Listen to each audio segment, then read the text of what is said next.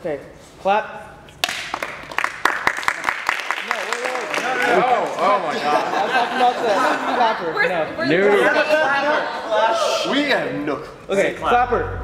Three, two, one, action.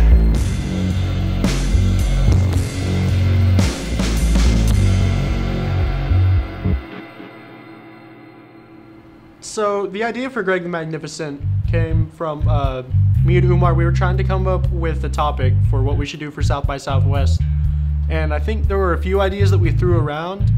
Um, but one that we really liked that really stuck was this idea I had for originally a comedy where everybody picked on him. What causes me to push this kid down again? Uh, just him being him. And he found this magic kit that he thought would be a way to get out of these problems. People would come to him and ask for all these really dumb favors, and he would get tired of it and just throw out the kit. And then I gave it to Umar. And I like just did what I just made it goosebumps. That's all I really did. I made a Twilight Zone goosebumps. Hold up. Is there a mosquito? Yeah. Yeah, that's it. In the end, yeah, it was good. But Yeah. yeah. It was way better than what I had for it, because Okay. Because you suck. pretty much. So I've never acted before, and the writers Nick and Umar, they um, they didn't give me very many lines, which is fun to play around with. Let me practice my lines. How's that? When we were done reading the script and stuff, we realized that Cameron didn't have that much dialogue, but he was able to convey his character with how he actually. I mean, he didn't do that good of a job. Ian was kind of like holding him up. Um, I love when you get more lines than someone else, but you don't get the recognition that you deserve for you know a lead character or maybe supporting, because you know who is supporting who. You never really know about that kind of support. yeah, that's what happens when you hire a last resort. Yeah. So I really taught them everything that they know. I really tried to focus on teaching them, you know, how to be respectful of the crew and treat them properly. Uh, go clean my toilet. Yes, sir. Yes, sir. This isn't even your house, I mean, bud. I'll clean it. Go to my house, clean my toilet, and then clean Nick's toilet too. What are you doing? And then I really wanted to make sure that they understood that this was a PG environment. Suck a mother fart turn twat. Suck a mother fart turn twat. Pit fuss. Uh, pit. I can't do it anymore. And the last thing, certainly not least, is I wanted them to really understand that you have to take care of the equipment and, and treat it professionally. That's my favorite. you know me. Sucking. You know, as directors, we really just had to focus on the cast and crew, call what do you call a supermodel of gonorrhea? um, staying on top of what they were told to do, just really trying to maintain that tight ship attitude. A quarter pounder with cheese. I don't think we ever lost hope or lost vision of like what we wanted to do in the end. Could you tilt your head at a 30 degree angle? Uh, actually, I think 32 would be better. 32, yes, yes, yes. No, no, that's way too much. As an artist, I'd go with the 35. There was not one moment where we were like, what do we do? Yeah, Nick and Umar had Uh, no, idea no, what they're they doing half the time. They didn't have any idea. I need therapy, man. I had it, but I got no money anymore, man. I, I feel I feel like the script was this tight, this tight. Everything made sense. Gregory Smith. Why would you be like delivering a package? like if there's one thing you want from a lead role, it's uh, less amount of dialogue. The less dialogue, the better. Really, if your audience has no idea what's going on in the film, that's Especially when the audience doesn't know who he is or anything about him whatsoever. It's more convincing. Don't you agree? I, I would say it is more convincing. Yeah, well, my education proves otherwise, so. Obviously, you don't You're know what you're talking about. Contradicting yourself right now. Well, life is a contradiction. You gotta learn to accept these things. You know, you learn things from acting like that, for example. Uh. Well, I'm glad I had this learning experience with you. Well, if you have any more questions, hesitate to ask, okay? We knew that we weren't going to have that much of a budget, so we worked with what we could, and thankfully we had uh, Misha Hoff here, who's the costume designer for the theater program. Mm-hmm. He has rooms full of amazing outfits. When we came to him with the idea, he knew exactly what to do with it. Yeah. I like the, the costumes. They're pretty well put together. I felt like Edgar Allan Poe and Bill Nye had a baby, and it grew up to like 20 years later and just hated the world. And that was a really badass feeling.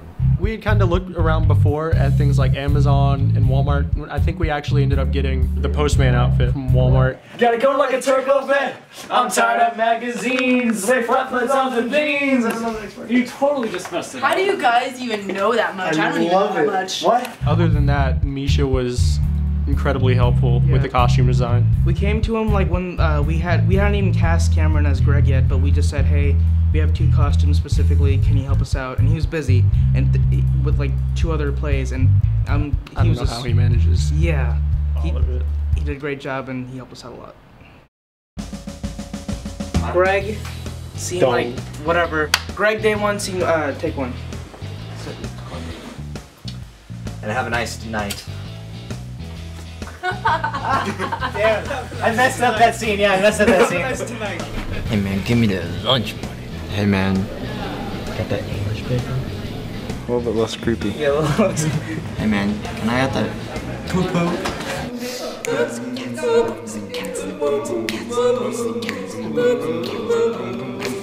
And she was more like a beauty queen from a movie scene. I said, well, mine, but what do you mean? I am the one. That was awesome. We kind of need to see the top. Not yet. Jesus Christ, Greg, get it together. That was really good.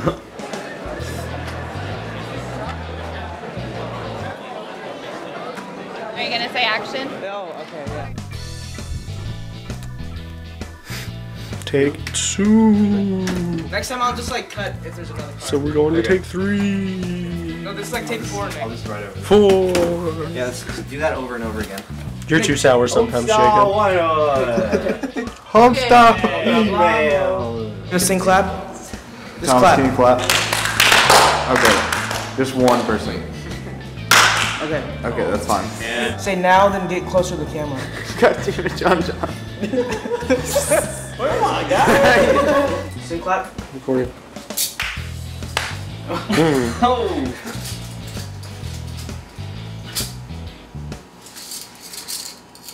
Okay.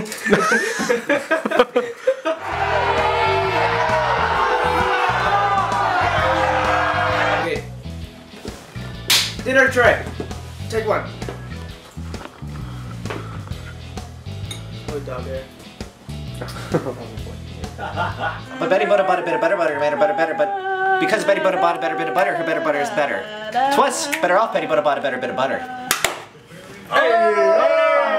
When is when is when is what is what is up? Okay, I'm sorry. I thought it was with a K. I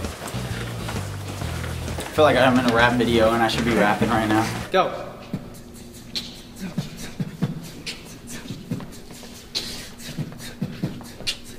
Walking down the hallway in Clear Lake, you can walk by, a girl. It will be okay. Yeah. Mobbing with my crew. You know what we do. We bully kids just like you. Anybody else want to get in on that? No? That's all we need. That's all we need. Good luck listening to that, Umar. Ha, you suck. Just kidding, you're.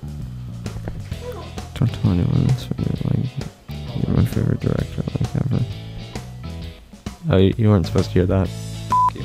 I am no one. Alright. I'm not here to help you. I'm not gonna help you impress your friends and family.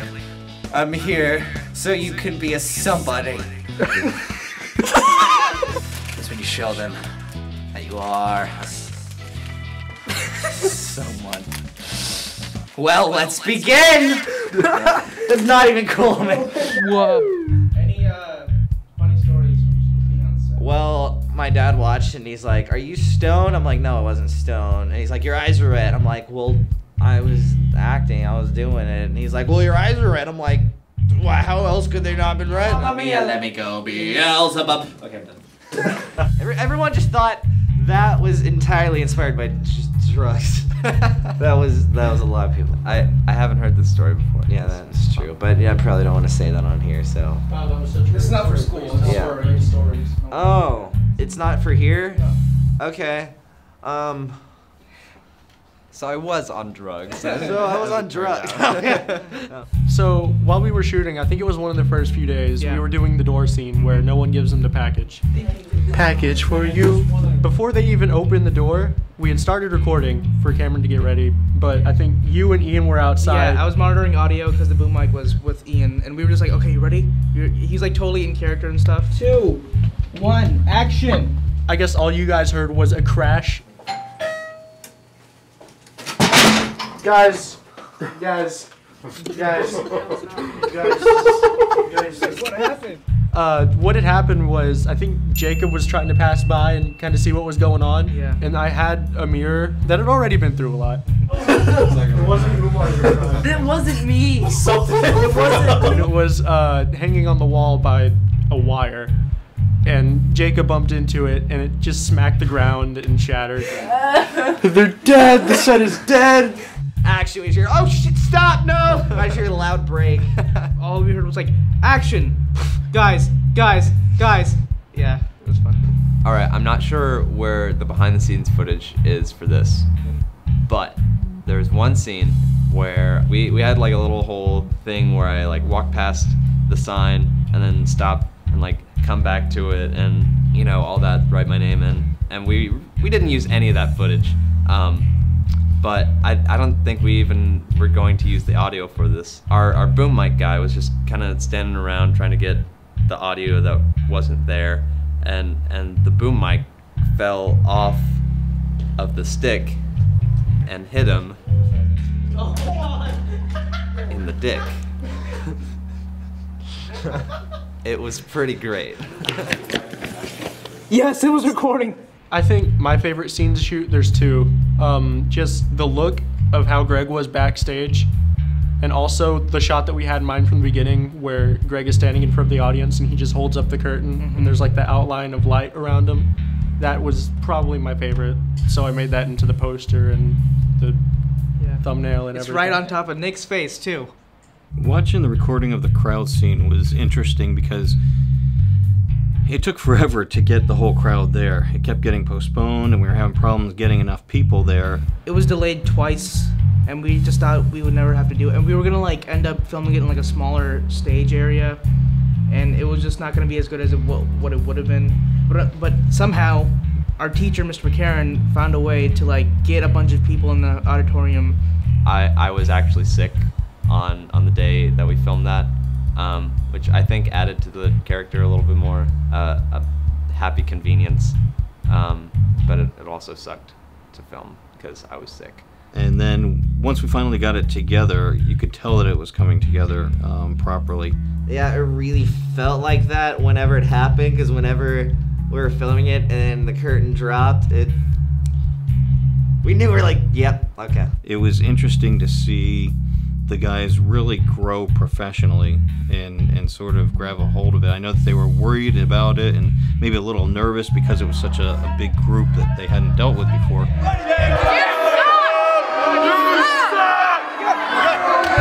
Like being able to direct like a bunch of people, like it feels just a rush. Yeah, Get- yeah, and having all that control. Tell everybody what to do. Yeah. Stick it to them.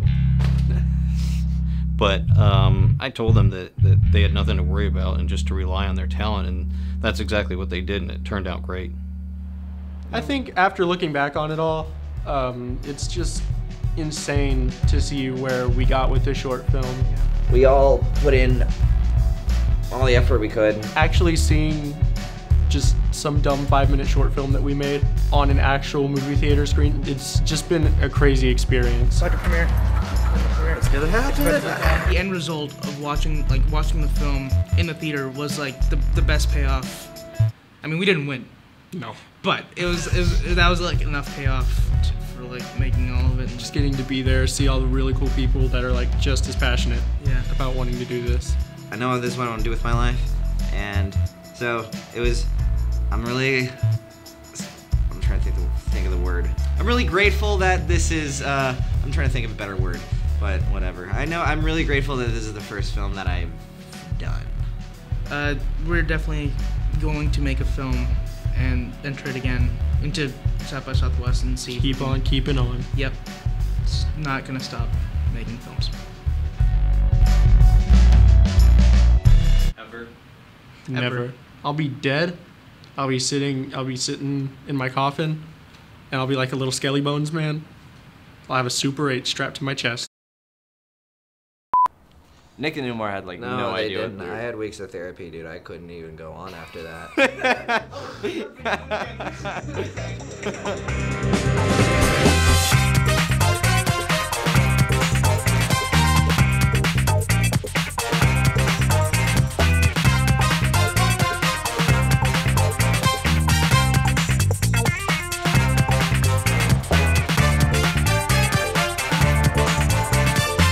Thomas, I love you, but this is a really great pose.